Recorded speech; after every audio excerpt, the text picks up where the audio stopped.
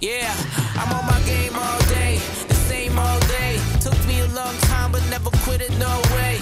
And I ain't high nothing, I ain't doing two pays. On my beat, flying kicks, kinda like I'm no way. Creating a fiasco, kinda like I'm hooray. Did a party like an 18, kinda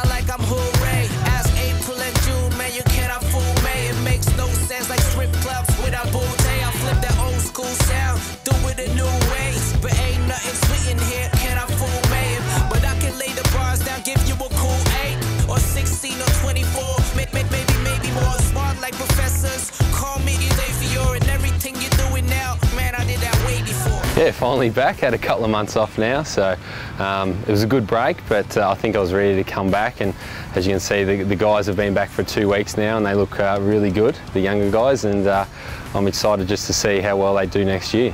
Yeah, we did a 2K time trial yesterday, and the guys ran really well. It's, it's going to be an interesting season with uh, the younger guys. I think they just need to develop a, a, a bit more and uh, the coaches and the fitness staff will sit down and just, just see where everyone's at and just try to build on, on what they did last year and, and then hopefully we can come into the games and be more consistent and play, play a, a bigger part.